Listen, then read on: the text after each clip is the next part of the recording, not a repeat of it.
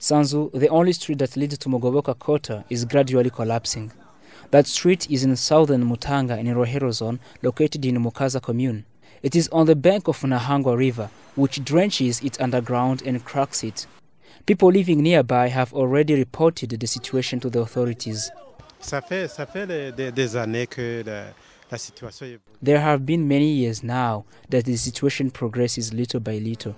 We always ask for a help from the concerned authorities, but we've never gotten a response until the situation engraved like this.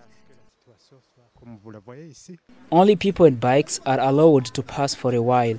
This is to keep the easy contact between Mugoboka, southern Mutanga, and town. To avoid its completeness destruction, a barrier has been placed. People are not worried about the street. There will be plenty of loss once that lane is down.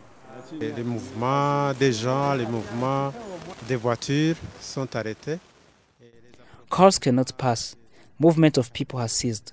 Lack of enough supplies. There are also social and economic infrastructures on the other side, like schools, hospitals, and so on. There will be a lot of problems here. Il y a des dispensaires, etc.